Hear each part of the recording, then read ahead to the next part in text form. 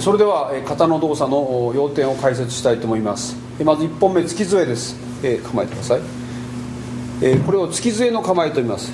体の中心部前方に杖を立てて構える。これを突き杖の構えと言います。こちらに対して立ちは発想に構えます、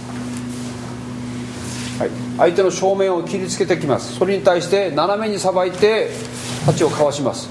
続いてこの下がっている杖から相手の上段から目を攻めつつ小手を押さえます、はい、で小手を押さえるだけではなく杖先で、えー、上線でですね上の先で相手の水月を攻めるようにします。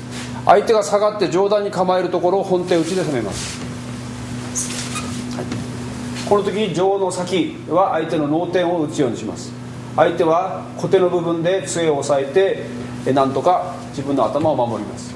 これで勝負は決するのでえー、太刀の方が構えを解きます、はい、ここまでが、えー、月杖の形です。